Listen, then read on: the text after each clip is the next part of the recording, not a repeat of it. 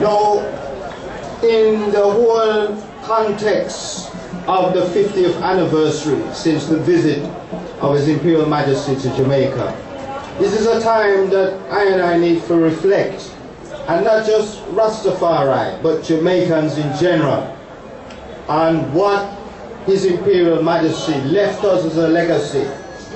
What was the message that His Imperial Majesty had for I and I? Now, when I do the research and I do the readings, I take away from that several things. One, as Rasai mentioned, was education. That's why he left us, left uh, Haile Selassie High School in 1966. That was no accident, my people. That was no accident because he realized that education was the foundation for the development not only of the individual, but of a nation as a whole. To have a strong nation that is embodied with the virtue of morals and, and vision and so forth, you need a sound education. And it doesn't have to be a formal education, but it should be an inspirational set of, of, of, of, of um, of different lessons that encourages ones to use their minds, to develop their minds, to develop creativity, to, to develop the, the impulse and the inspiration to grow. And I believe that all of us have within us a divine essence. Yes, I truly do believe that. And we need to work on that divine essence. We need to build it as much as we can to fulfill our divine actualness, to, to fulfill our full capacity. And many of us are not fulfilling that capacity.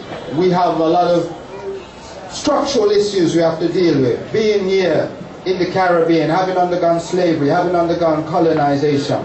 But despite that, we still have the ability to grow as a people.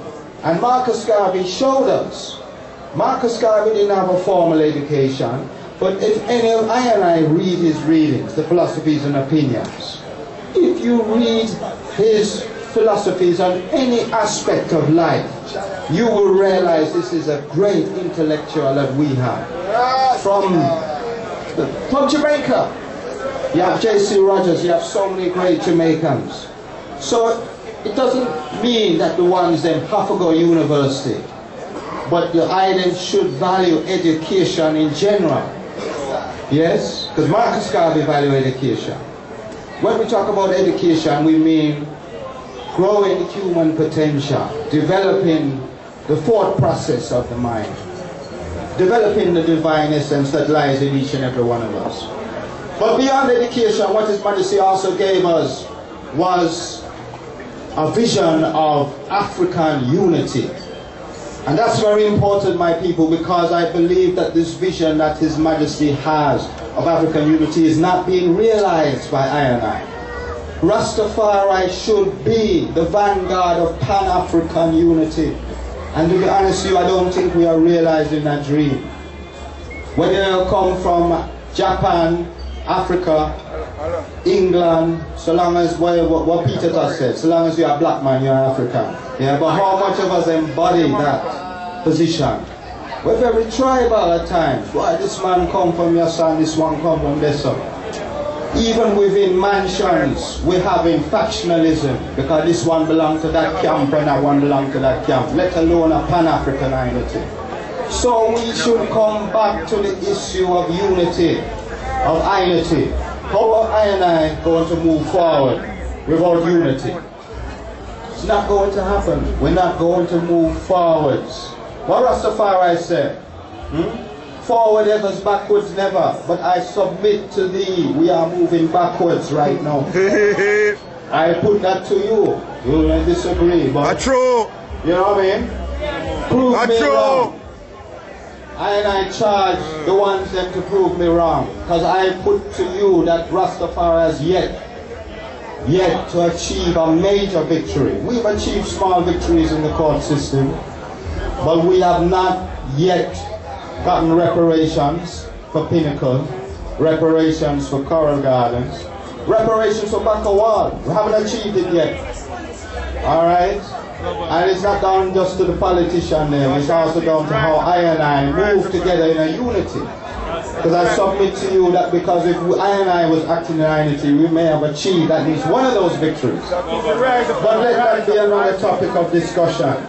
Right now, I and I want us to reflect seriously on the message that His Majesty had for I and I as a people. As African people in general, he said that we, as, as, as Jamaicans and Ethiopians, are one people. His message was of Pan-Africanism, my people. So let us, let us live that dream of Pan-Africanism. Let us embolden that message, that vision of unity, of a strong Africa, of a strong, united African people. And I'm not going to speak too long. I just want to thank all of those who have made this celebration of His Majesty's visit to Jamaica, the 50th commemoration, the Jubilee occasion, a truly majestic affair. We have in our presence His Imperial Highness, Prince Ermias Sahle Selassie, Haile Selassie, grandson of His Imperial Majesty, who is here with us in the commemoration of this great occasion. Let us clap His Imperial Highness, Prince Ermias. Yes. And there were various machinations which had to take place to facilitate His Imperial Highness to come here. But what is important, His Imperial Highness expressed to me a strong desire to be here. He wants and he wanted to celebrate the commemoration of his grandfather's visit to Jamaica because he has a deep, abiding love for the Jamaican people. And when he comes on the podium very soon, I think that will be clear.